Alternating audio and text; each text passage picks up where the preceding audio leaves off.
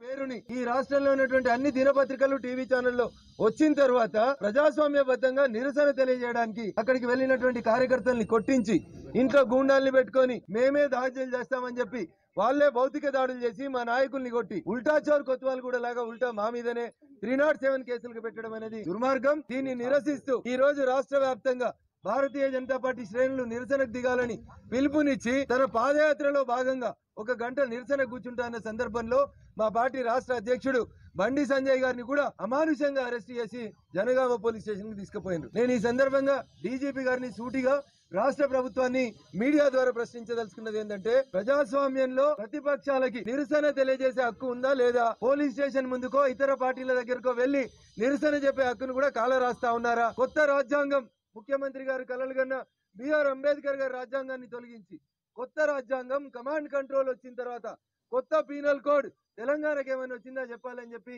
DGP గారిని సందర్భంగా demand చేస్తూ మా మీద పెట్టినటువంటి కేసులన్నింటినీ కూడా వెంటనే విత్డ్రా చేయాలని తెలంగాణ పోలీసులను ఈ సందర్భంగా లిక్కర్ స్కామ్లో వచ్చిన ఆరోపణలతో ఎమ్మెల్సీ పదవికి రాజీనామా చేయాలంటూ నిన్న బీజేవైఎం నేతలు కవిత ఇంటి దగ్గర ఆందోళన చేశారు.